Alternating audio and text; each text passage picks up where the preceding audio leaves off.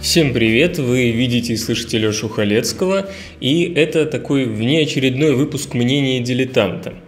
Э, дело в том, что недавно я делал видео о том, почему в нас остался совок. Там про новогодние огоньки на телевидении было. В комментариях к этому видео Почему-то очень много людей от, как-то странно откликнулось на слово «совок». Я понял, что просто многие, э, видимо, в силу своего возраста, молодости и прочего, не понимают, что такое совок вообще в принципе. Начинают это считать как наезд на Советский Союз. Я, значит, пренебрежительно отзываюсь о прошлом. Поэтому я хочу сделать вот это видео, которое разъясняет что такое совок, ну и заодно начать полемику по этому поводу. Хорошо совок или плохо, может кому-то нравится. Естественно, я-то негативно к нему отношусь. Э, но прежде хочу, конечно, отметить постоянно к любому видео, вообще к любому, найдутся люди, которые начинают обсуждать ну, что-то не относящееся к вопросу. В данном случае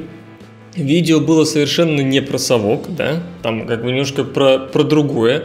Но самые большие споры возникли вот, вот про это как раз определение, про то, как жилось в Советском Союзе. Причем поразительно, что какие-то почему-то положительные э, комментарии про Советский Союз пишут люди, которые даже не родились при нем. Я-то хотя бы родился и жил при Советском Союзе и могу хоть что-то по собственному опыту говорить.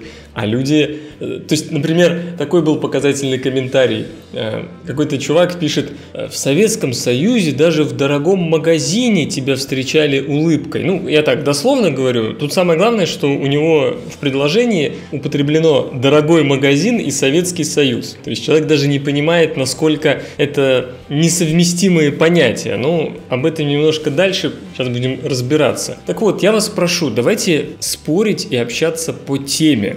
Именно по теме, а не уходить куда-то в сторону и придираться к вещам, которые не имеют отношения вот к тому, что я сейчас буду говорить. Начну, во-первых, э, с того, что развею мнение многих, мол, я был против Советского Союза. Я как раз, как и Путин тот же самый, считаю, что развал Советского Союза – это большая ошибка.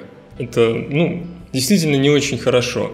В то время как весь остальной земной шар объединялся, то есть создавался Европейский Союз, другие организации, вот, которые объединяют страны. В это время Советский Союз и наши страны развалились. Проблема здесь, кстати, во многом и тоже вот этот совковый менталитет был. Но самое главное, что экономика, по-моему, зашла в тупик, и многие элиты бывших советских республик единственный выход видели именно в национализме. Ну, не в таком, не в нацизме, естественно, как в свое время в Германии, но многим казалось, что ты, у тебя становится независимая страна, и ты, у тебя сразу все проблемы решаются внезапно. Хотя это, наоборот, создало еще больше проблем и так далее, и так далее. Но в развале Советского Союза не виноваты национальности, а виноваты те правители, которые им управляли. И, кстати, опять же, я ухожу немножко в сторону. Многие почему-то считают Горбачева, просто именно при нем развалился Советский Союз. По-моему, этот человек как раз пытался хоть как-то его сохранить, и заслуга Михаила Сергеевича именно в том, что распад страны произошел без массового кровопролития. Да, были там определенные войны, но все-таки более-менее, э, слава богу, спокойно это все произошло. И, а развал, по-моему, был неизбежен, начиная еще с брежневской эпохи, когда пошли вот по этому пути на сырьевом придатке. В общем, я в сторону отклоняюсь, просто хочу немножко объяснить свою позицию, что я все-таки считаю Советский Союз как географическая страна, не не как идея, не как э, политический строй, а именно как географическая страна. Это был э, замечательный проект, и очень жаль, что он закончился. И, кстати, к нему уже не вернуться, потому что слишком много времени прошло, и совершенно другие люди сейчас, и совершенно другие идеи витают в воздухе. Но я, э, как к стране Советскому Союзу, отношусь положительно. И я считаю, что очень плохо, что он развалился. И вот тут э, смысл в том, что совком Советский Союз – никогда не называли. Это вот нынешняя какая-то, вот последние лет 10 заменилась. Пренебрежительное название Советского Союза было Совдепия. Почему-то многие об этом не помнят. А Совком назывался именно менталитет. Вот так совок – это по отношению к человеку говорится, что человек себя ведет как совок, а Советский Союз, вот такая ликбез, пренебрежительно, совдепия. И это еще пошло от белых плакатов, ну, белого движения начала 20 века, потому что совдеп – это Совет депутатов. Пренебрежительно беляки называли э, Советский Союз, ну, тогда еще даже Советского Союза не было. Это еще Россия. Россию совдепией, типа такое пренебрежительно. И вот это пренебрежительное отношение к типа Советскому Союзу, Совдепе, и я еще помню, как это так называлось. А совок – это именно человек. Это, ну, конкретно сказать, кто придумал слово совок невозможно. Это, я считаю, что это народное. И когда э, народная придумка подразумевает, что это в нескольких местах много людей к этому пришло, и оно так ушло в народ. А так вообще считается, что это от Homo советикус пошло, так Ильф и Петров еще, по-моему, в одноэтажной Америке обращались к советскому человеку, но Homo советикус тогда как бы звучит гордо, новый тип человека. А потом вот в конце 80-х, знаете, комок, коммерческий киоск, да, комок, совок, вот оттуда все. Так что не путайте, совком не страну называют, а человека. Сейчас в нынешние времена модно ничего не знать и просто фашизмом называть то, что не относится к фашизму никак, совком называть то же самое. Ну так вот, все-таки, что такое совок вообще в принципе? Совком называют все наиболее негативные проявления образа жизни и мышления, присущие гражданам Советского Союза. Именно негативные а не просто вообще всех граждан Советского Союза. То мне пишут, у тебя родители жили э, при Советском Союзе, бабушка и дедушка, а ты их совком обзываешь? Это вообще, кстати, тоже очень классный прием. Наезжать на кого-то, используя несопоставимые понятия в принципе, и считая это как аргументом в споре за свое мнение. Так вот, какие же эти негативные проявления? Во-первых, патернализм.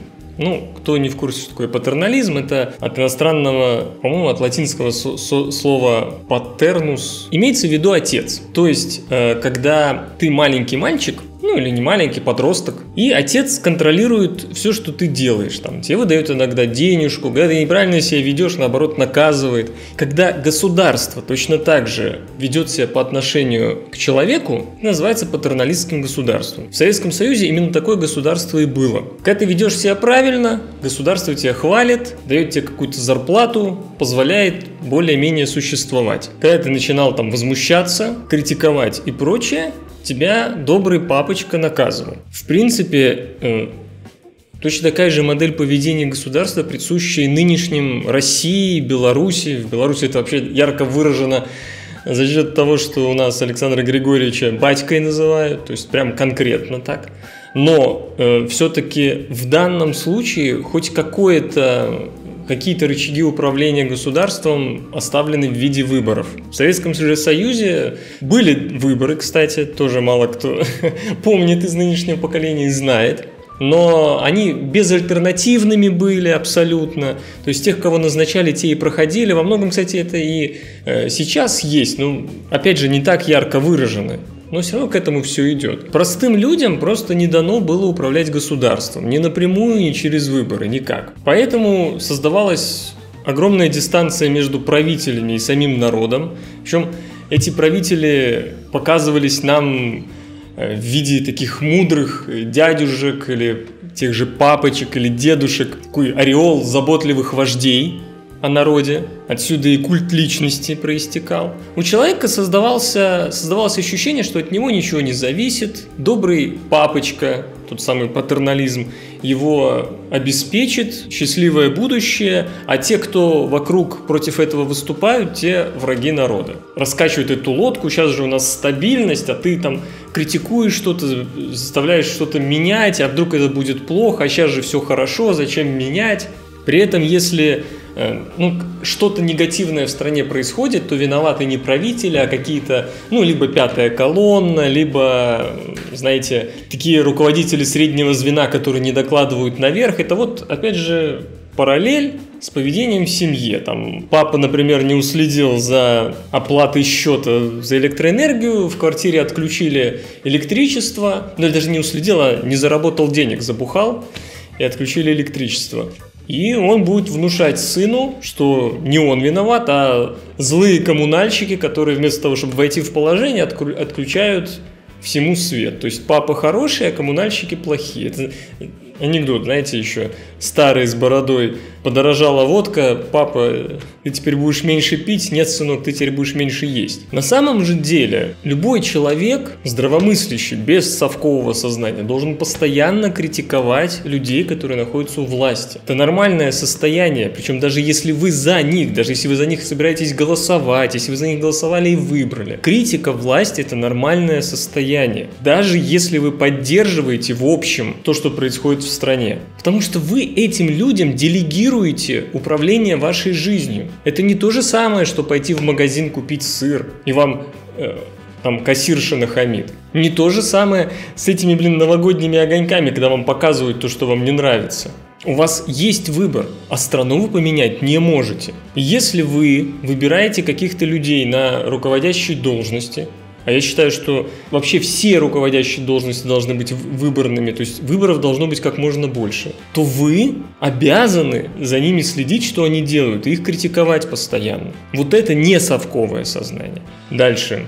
Следующий признак. Незнание законов и отношение к закону как к Филькиной грамоте. Большинство считает, что закон это одно, а реальная жизнь совершенно другое. Обратите внимание, когда во многих местах, когда споришь по поводу того, что сейчас происходит в стране, и говоришь, вот есть такой-то закон, прочее, пятое, десятое, и тебе на это отвечают, слушай, что ты со своими законами? В жизни все совершенно не так. А началось все это в Советском Союзе, э, знаете с чего?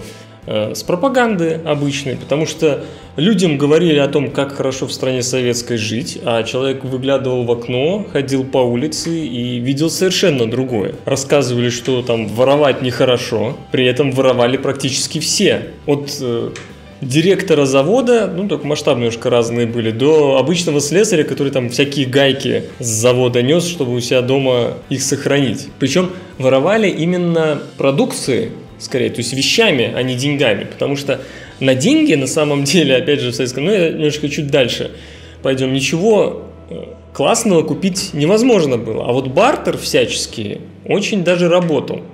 Вы понимаете, я уверен, что мне в комментариях э, напишут кучу людей, типа я придумываю вот это вот, я живу, э, рассказываю не по своему уму, а начитавшись всякой, всяких негативных отзывов о Советском Союзе. Ребята, я, я объясняю, я при этом жил, да вы э, и понимаете, есть даже куча фильмов известных советских, это показывают. Например, вот э, с Куравлевым «Ты мне, я тебе». Да блин, э, Опять же, Афоню того же посмотрите. То есть это комедия. Причем, имейте в виду, это еще все очень сглажено, типа, чтобы показывать по экрану. На экране большом.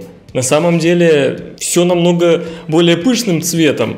Вот, вот эти вся система воровства и замены там на импортные да вы сами вдумайте, ну ладно, блин, это я от закона ушел немножко, я еще потом про экономику чуть позже скажу. Вот этот правовой нигилизм привел к тому, что была романтизирована зона, тюрьма, потому что появились э, такая фигня, как жизнь по понятиям. Потому что воровские законы тюремные оказались во многом более справедливыми, чем советские законы. И с тех вот пор в нас живет вот это что закон это одно, а справедливость это типа другое. Хотя на самом деле сейчас и в России многие законы приняты нормальные. Если бы они работали, действительно было бы намного лучше. Но э, вот эта совковость вот это сознание совковое в большинстве из нас живет, и мы продолжаем не исполнять эти законы. И на самом деле, опять же, в этом виноват, виновата власть, потому что, чтобы законы обычными людьми исполнялись, надо, чтобы власть показывала пример исполнения этих законов. Когда любой человек видит, что можно своровать миллиарды, и тебе за это ничего не будет, прям конкретно вообще ничего не будет, то и он начинает там воровать 10 тысяч и справедливо, совершенно справедливо считает, живя по понятиям, опять же, что это все нормально. И когда э, человек обращается в полицию, например, по каким-то проблемам, а потом сам может стать виноватым, то, естественно, никакого доверия к закону и государству не появляется. И, например, одна из огромнейших э, положительных черт западных государств именно в том, что там люди считают государство своим защитником. И поэтому они там не стесняются обращаться в полицию по любому поводу. У нас почему-то считается, что там люди стукачи, мол, нет, они там не стукачи, они именно так решают свои проблемы. У нас же если с соседом у тебя, ну там сосед тебя подпер, например, или что-то сделал, у нас считается, если ты обратишься в полицию, это не по-соседски, надо решить спокойно с соседом, поговорив. Замечательно, если бы сосед тоже был вменяемый.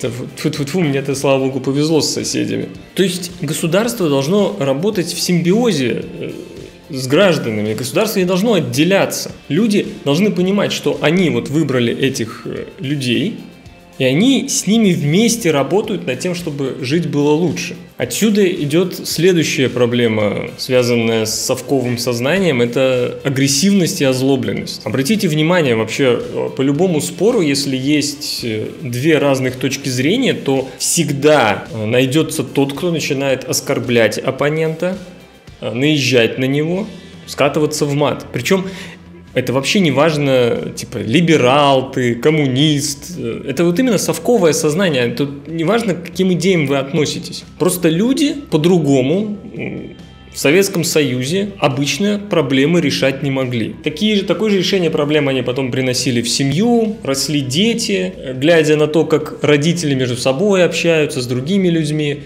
и точно так же начинают общаться. То есть я к тому, что а, вот это совковое сознание, оно так быстро не уходит. Нынешняя молодежь вполне точно такая же. А откуда это идет? Почему это произошло? Потому что другой э, весь мир, остальной западный, развивался по рыночным законам, о том, что я вам говорил в прошлом видео.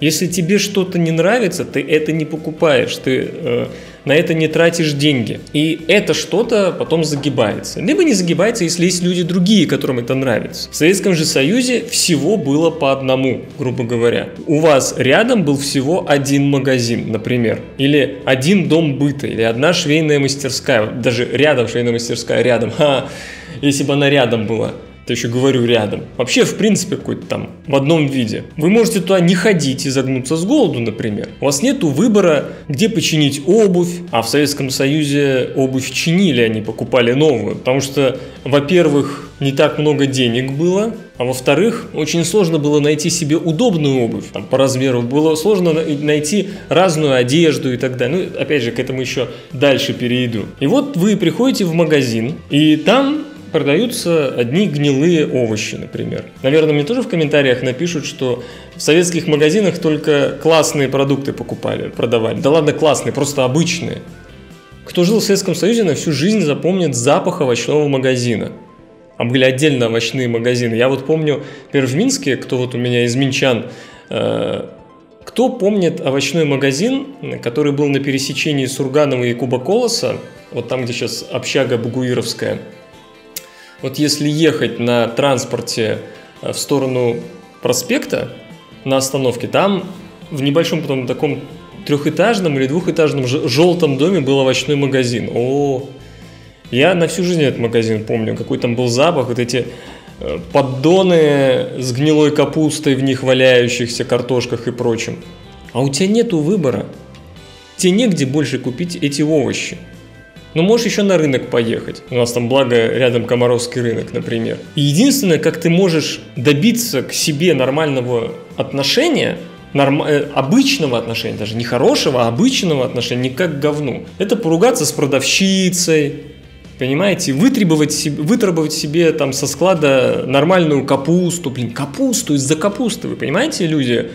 И это во всем вот так вот происходило. Ты ругаешься, требуя к себе такого отношения, нормального. Но это здесь ты потребитель, а в другом-то месте ты пред, пред, предоставлял услуги у себя на работе. Там ты точно так же ругался чтобы тебе меньше работать заставляли. При том, что в СССР реально не было безработицы, ну тебя и не уволить не могли нормально. Опять же, посмотрите того же Афони, блин. Посмотрите, как человек, практически ни хрена не делая, только э, саботируя работу и на самом деле делая все только хуже, все равно на работе остается, его там что-то песочат, какие-то товарищеские суды проходят. И этот человек потом ходил и оказывал услуги другим. И это еще сглажено, еще раз повторю. Но в плане предоставления услуг, слава богу, совок постепенно уходит. Вот э, можно зайти в любой ресторан нынешний, там уже официанты нормально, более-менее общаются. Потому что э, сфера обслуживания, в принципе, она работает в симбиозе с потребителем. Если, если официант с тобой вежливо общается, то и тебе хочется с ним нормально общаться. Никто не считает, что кто-то кому-то должен. Мне не понравится в этой там, пиццерии или фастфуде, я могу в другой пойти. Выбор огромен. И тут уже главным становится все-таки потребитель.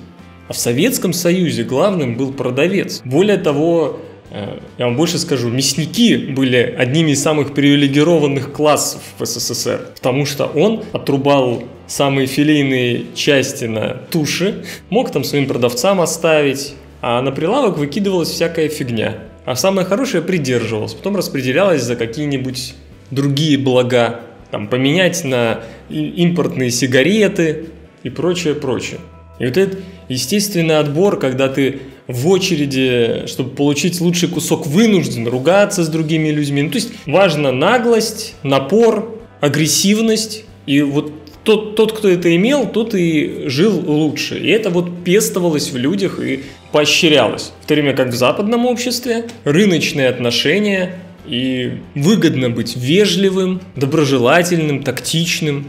Это просто, ну, Мало того, что выгодно, это просто приятно даже. И мне вот, кстати, непонятны всякие эти мимасики э, по поводу того, что там русский человек нигде не пропадет, э, потому что вот он такой агрессивное быдло. Любой человек э, с интеллектом нигде не пропадет, неважно, он агрессивное быдло, вежливый или нет. Блин, в итоге обратите внимание, что советского человека в мире видно везде.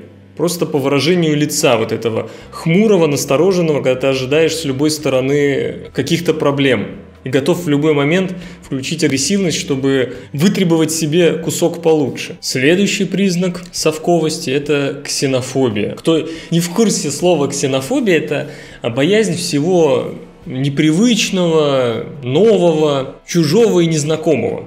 Вот так. А идет это все из советского коллективизма, когда один человек ничто, а коллектив вместе это все. Любое выпячивание из коллектива сразу преследовалось. Все ходят строем, грубо говоря, одеваются в одинаково серое. Вы найдите любые, блин, фотографии Советского Союза, там, 70 такие, вот уличные фотографии, самые обычные.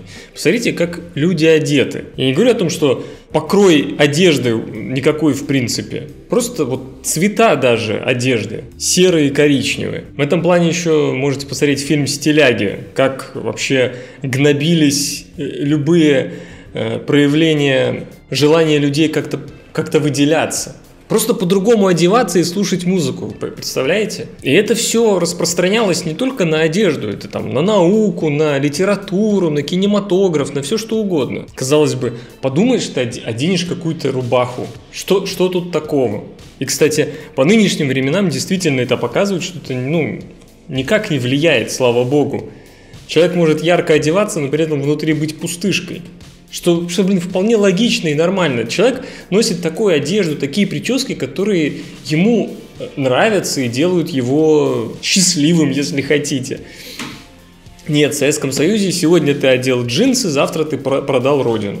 То есть это не, это не какие-то мои придумки, это так было. Контролировались прически, нельзя было длинные волосы в школе. То есть не в армии, а в школе там носить длинные, да, блин, на работу нельзя было длинные волосы носить. Размер юбок и так далее, и так далее. И вы меня спросите, так, блин, сейчас же ничего такого нету, как вот эта ксенофобия в нынешнем мире, типа, влияет на совковое сознание. Да очень просто, любое, любая нетерпимость э, к чужому мнению и Э, к проявлениям чего-то нового, это и есть совок. Есть та самая ксенофобия. Нападки на геев, там, на эмо, на панков, на неправославных, на атеистов и прочее, прочее. Вы понимаете, никто вас не заставляет любить геев. Но я уверен, что большинство из вас, моих зрителей, те, кто там, к гомосексуалистам относится негативно, никогда в жизни не пойдет на улицу или не начнет бить морду, да, даже не бить морду, а просто даже что-то говорить э, Э, гомосексуалисту, если он его встретит и будет знать, потому что это, ну, что вы нормальный человек. А совку надо вот высказаться будет, понимаете? Ну ладно, хорошо, геи такая, блин, острая тема, а вот эти э, ребята типа НТО, да, православные террористы, блин, которые нападают на выставки и прочее, типичный совок, вот это, это и есть ксенофобия. Но отсюда идет еще и пренебрежение к человеческой жизни. Опять же, корнями уходит в тот же коллективизм, что общественные интересы превалируют над частными. Все ради одной общей большой великой цели. Поэтому вот в СССР культивировалась жертвенность единиц ради масс. И это, кстати, результат авторитарности власти в Советском Союзе.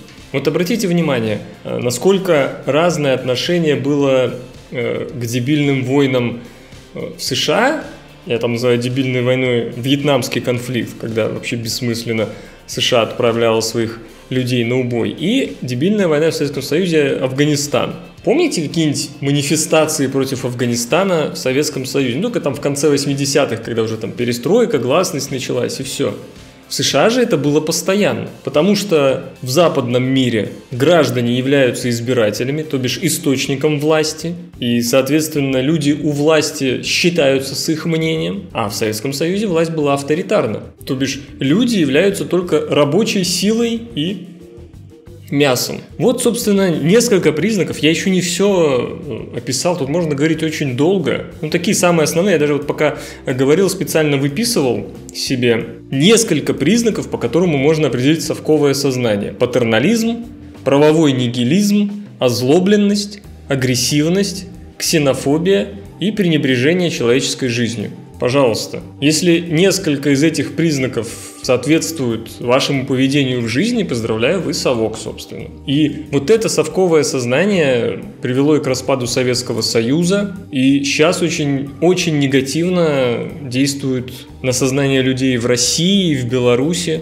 и, по-моему, не позволяет э, дальше двигаться и нормально развиваться. Что, что вот из этих э, параметров вообще может быть положительным? Как вы можете вот, ну, блин, оправдать любое из этих проявлений? Мне прям даже интересно. Я уже не говорю о том, что оправдывать э, при подобном э, поведении жизни в Советском Союзе. Поэтому, ребята, совок – это плохо. Не стоит считать, что я каким-то образом кого-то оскорбляю. Кстати, тут еще можно но это уже в каком-нибудь другом видео по поводу толерантности поговорить. Мне очень нравится, э, что в основном э, на меня наезжали люди по поводу использования слова «совка», именно те, которые выступают против толерантности.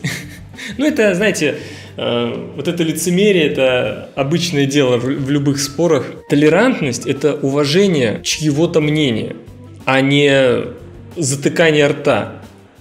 Я, например, не считаю, что вот э, то, что перекос э, на Западе, который происходит, типа уважение чувств мусульман и прочего, что это какое-то имеет отношение к толерантности. Ну, это, ладно, об этом мы как-нибудь в другой раз поговорим. В общем, надеюсь, я смог донести для тех, кто не понимал, что такое совок, свое мнение. Ну, блин, да не мое мнение, это, это общее мнение о том, что такое совок. И что быть совком это плохо. Но тем не менее, Давайте, жду в комментариях ваших э, возмущений по этому поводу и э, дизлайков видео.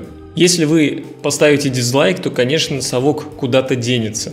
И мы все станем классными ребятами, и жить станет лучше собственно, как и если лайк вы поставите. Первый путь к изменению своего поведения, себя, это вообще осознать, что ты что-то делаешь неправильно. Я попробовал показать, почему совком быть неправильно. Надеюсь, получилось, надеюсь, потому что видео какое-то такое долгое, эти в основном разговоры, возможно, э, стоило это, знаете, в более таком кратком формате гайда, что ли, сделать. Но тут проблема в том, что вот сам термин такой совок, он предполагает общение, спор. Невозможно это преподносить как э, аксиомы.